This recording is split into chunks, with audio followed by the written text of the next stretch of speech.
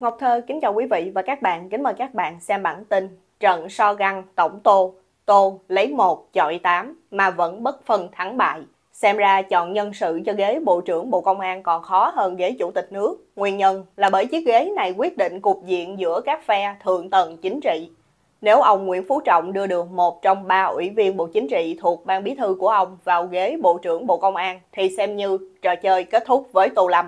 Nếu như vậy, xem như Tô Lâm bị tước binh quyền hoàn toàn. Lúc đó Tô Lâm buộc phải chấp nhận số phận. Còn nếu Lương Tam Quang được chọn làm bộ trưởng thì xem như phe ông Tổng thất bại. Cho đến nay, vẫn chưa phe nào cho thấy khả năng chắc chắn với chiếc ghế Bộ trưởng Bộ Công an. Lẽ ra, với ba ủy viên Bộ Chính trị, ông Nguyễn Phú Trọng có đủ lý do để gạt Lương Tam Quang ra khỏi cuộc đua vào ghế Bộ trưởng Bộ Công an. Ấy vậy mà ông cứ loay hoay mãi, không quyết được. Nhìn vào tương quan lực lượng trong Bộ Chính trị giữa phe ông Tổng và phe Hưng Yên thì thấy chênh lệch rất lớn. Tô Lâm lấy 1 chọi 8. Phe ông Nguyễn Phú Trọng có 8 ủy viên Bộ Chính trị, chiếm phần nửa tổ chức này. Câu hỏi đặt ra là vì sao với thế và lực ít ỏi như vậy, một mình Tô Lâm đấu tranh với 8 ủy viên Bộ Chính trị của Ban Bí Thư mà vẫn duy trì thế trận ngang ngửa. Ác hẳn Tô Lâm phải nắm giữ bí kíp nào đó mới đủ khả năng để một mình cân nửa Bộ Chính trị. Nhìn lại những trận so găng trước đây, Tô Lâm đánh vào nhóm Nghệ An. Lúc đó, trong Bộ Chính trị, Tô Lâm lấy một chọi ba và đã hạ được tướng đầu đàn của phe Nghệ An. Giờ đây Tô Lâm lại dám lấy một chọi tám thì quả thật sức mạnh của Tô Lâm thật đáng sợ. Từ trận so găng với phe Nghệ An, có thể hình dung ra vũ khí mà Tô Lâm đã dùng. Đó là hồ sơ đen của Vương Đình Huệ. Cú đánh cực hiểm này đã khiến cho Vương Đình Huệ ngã ngựa. Từ đó có thể thấy nắm hồ sơ đen của đối thủ là vũ khí lợi hại mà Tô Lâm đang có. Nhờ đó, Tô Lâm có thể lấy một chọi ba rồi tiếp tục lấy một chọi tám như hiện nay. Sau khi Tô Lâm hạ bà Trương Thị Mai, ông Trọng đắp ngay 4 tân ủy viên vào Bộ Chính trị, nâng tổng số ủy viên Bộ Chính trị trong ban bí thư lên con số 8, chiếm phần nửa bộ này. Điều đáng nói là ông Trọng đưa tướng Lương Cường trám vào vị trí mà bà Trương Thị Mai để lại. Kế hoạch được xem là hoàn hảo, tuy nhiên cuối cùng kế hoạch này đã bộc lộ nhược điểm. Thứ nhất, ông Lương Cường chỉ mạnh về phòng thủ mà yếu về tấn công. Ông sẽ không bị Tô Lâm điều tra vì công an không có thẩm quyền điều tra bên quân đội. Tuy nhiên, tướng Lương Cường nắm chức Tổng cục trưởng Tổng cục Chính trị, chưa quản lý cơ quan điều tra hay cơ quan tình báo nào của quân đội, cho nên ông khó có thể ra lệnh hoặc tác động để những cơ quan này điều tra Tô Lâm. Hình ảnh trong Bộ Chính trị, phe Hưng Yên chỉ có một mình Tô Lâm.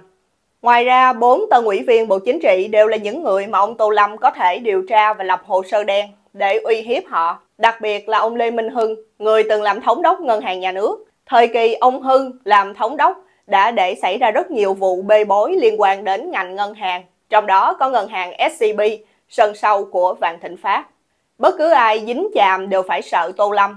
Nếu dám ra mặt chống đối, Tô Lâm có thể cho họ rụng ngay và luôn như Võ Văn Thưởng hay Vương Đình Huệ. Ghế Bộ trưởng Bộ Công an không chỉ ảnh hưởng đến sinh mạng chính trị của Tô Lâm, mà có khi nó còn quyết định cả sinh mạng của ông. Bài học Trần Đại Quang vẫn còn nóng hổi. Vì tính sống còn, Tô Lâm có thể không từ bất cứ thủ đoạn nào. Hiện nay, làm cách nào để tước bỏ hết ảnh hưởng của Tô Lâm ở Bộ Công an là bài toán lớn nhất và cũng là bài toán khó nhất đối với ông Nguyễn Phú Trọng. Trò chơi này rất khốc liệt, chỉ có thể thịt hoặc bị thịt mà thôi. Quý vị và các bạn vừa theo dõi chương trình cập nhật tin tức của Ngọc Thơ thời báo chấm D với bản tin trận so găng tổng tô, tô lấy 1 chọi 8 mà vẫn bất phân thắng bại. Campuchia sẽ khởi công kênh đào Phù Nam Teco bất chấp quan ngại. Ngày 31 tháng 5, VOA Tiếng Việt cho hay Campuchia khởi công kênh đào Phù Nam Teco vào tháng 8, Việt Nam lo sợ. VOA dẫn tin từ tờ Bưu điện Hoa Nam buổi sáng cho biết Thủ tướng Hun Manet của Campuchia hôm 30 tháng 5 nói nước ông sẽ khởi công dự án kênh đào Phù Nam Teco trị giá 1,7 tỷ đô la vào tháng 8 tới. Tờ Bưu điện Hoa Nam buổi sáng đưa tin trong cùng ngày và cho biết thêm con kênh này dự kiến sẽ nối thủ đô Phnom Penh với Vịnh Thái Lan. Kế hoạch xây dựng kênh Phù Nam Teco này đã gây ra nhiều tranh cãi. Bưu điện Hoa Nam buổi sáng dẫn lời ông Hun Manet nói trong diễn văn rằng Chúng ta sẽ làm ở thời điểm hiện nay, chúng ta không thể đợi thêm chút nào nữa.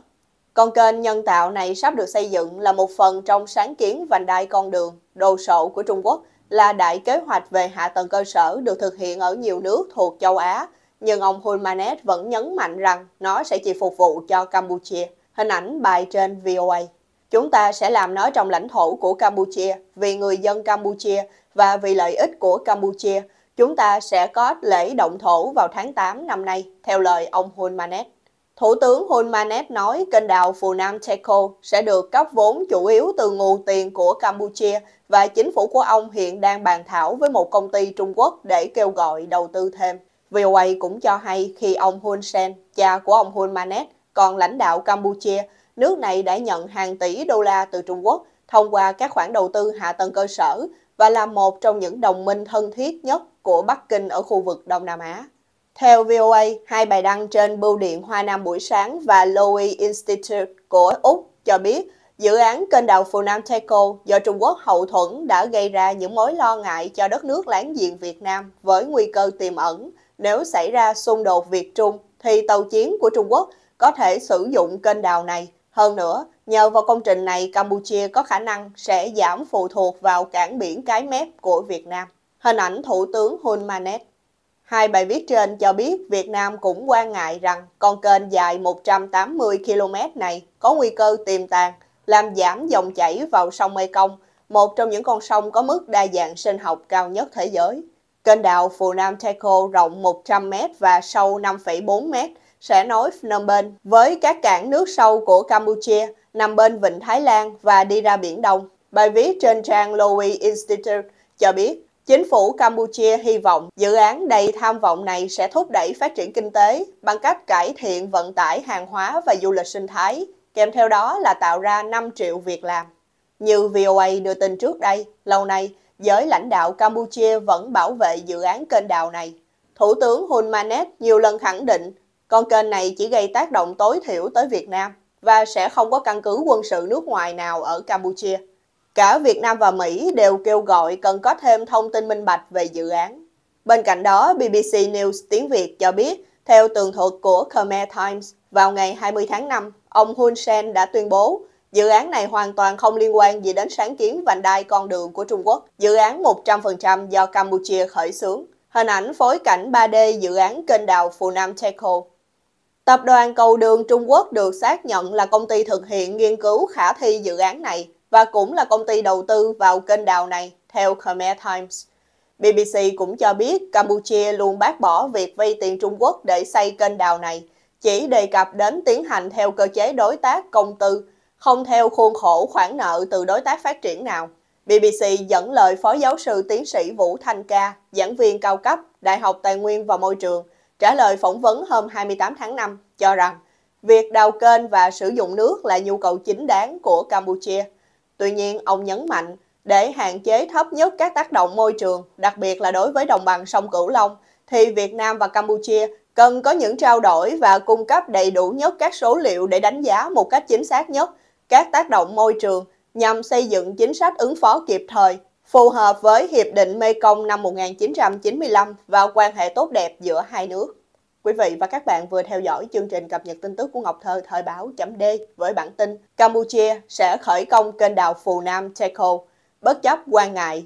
Quý vị và các bạn hãy chia sẻ video này để nhiều người cùng biết cũng như bấm nút đăng ký kênh YouTube và Facebook của thời báo chấm D để được cập nhật những bản tin mới nhất, nhanh nhất và trung thực nhất. Ngọc Thơ thời báo chấm D